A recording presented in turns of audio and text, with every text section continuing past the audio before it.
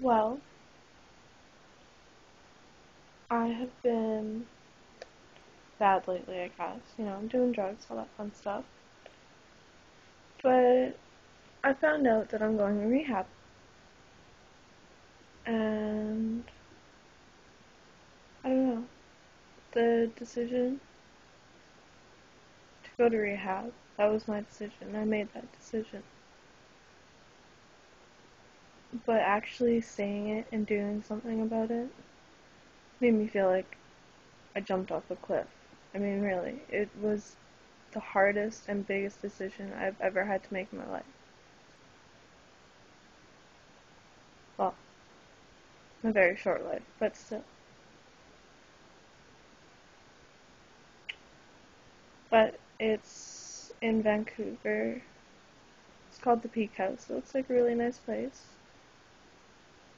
Kind of excited, you know, get to meet all the people there.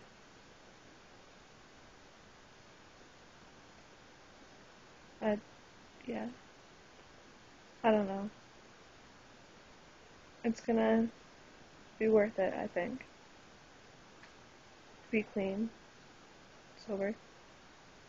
I don't know if I'll exactly stop after rehab. I mean, it's three months. But when I get back, I don't know if I'm gonna want to or not.